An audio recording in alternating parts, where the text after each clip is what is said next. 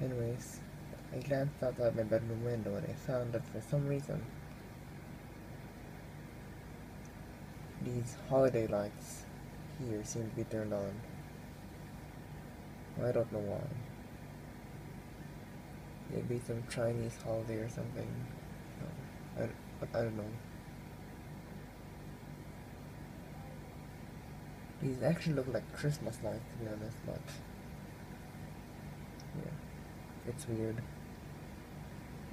Maybe they were turned on by accident. Sorry.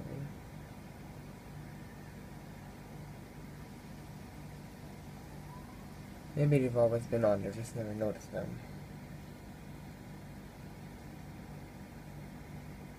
But I think either they were turned on by accident or maybe some holiday or the or anything like that they don't know of. Maybe like some Chinese or holiday or something. I don't know. Anyways. It's weird. That's one thing for sure. Yeah.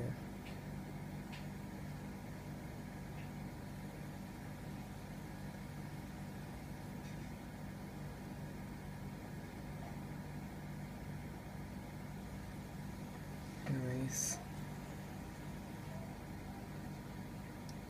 There you guys have it. Uh,